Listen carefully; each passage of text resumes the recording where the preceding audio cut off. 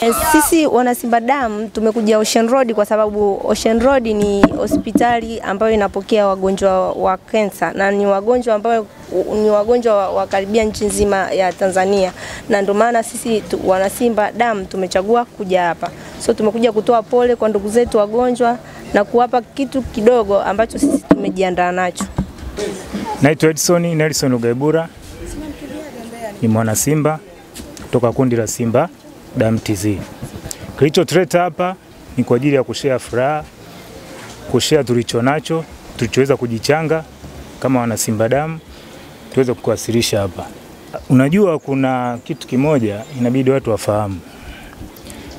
Ukimchukua mtoto anayesoma Feza Feza Boys ukampeleka na shule moja hivi, siwezi kuitaja, kuna tofauti utauona kwenye takwimu za matokeo. Lakini ukimchukua yule yule Feza Boys ukampeleka junior seminari, kidogo kuna kitu ambacho utakipima kutoka kwake.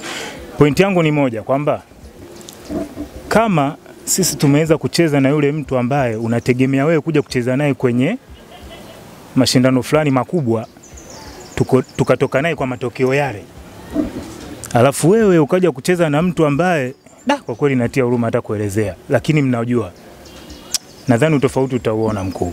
Kwa hiyo kwa Simba hii ambayo unaiangalia na kwa mechi ambazo walicheza za, za majaribio kwa maana ya kujipima na ile ya Simba Day iliyo- iliyochezwa pale, naona timu yetu ikiwa na dhamira ambayo kila mmoja anaitazamia kwa namna yake, na kwa baraka hizi ambazo tunaamini kwamba kutoa ni moyo na kunaongeza kitu fulani kwa mtoaji, na hasa ukikutoa kwa moyo wako wote.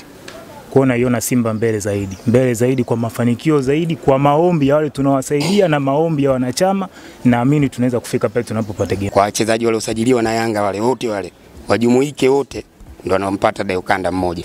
Tena nadhani hawamfiki kidogo sana, labda Deukanda sio mtu mzuri yule baba anaweza kwa kuvunja nyonga